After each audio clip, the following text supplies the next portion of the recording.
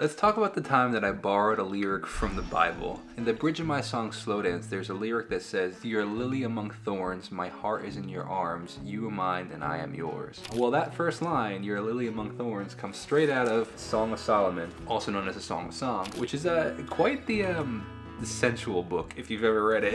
it has a lot of great analogies in there. But in the second chapter, it starts off with a line that says, Like a lily among thorns is my darling among the maidens. And I was like, oh, that's a really cool line. And that inspiration come, can come from anywhere. And I was like, I'm going to use that. Instead of like a lily among thorns, I said, you're a lily among thorns. And then the rest, I, I you know, adapted to myself. So that's the story of how I borrowed a song lyric out of the Bible.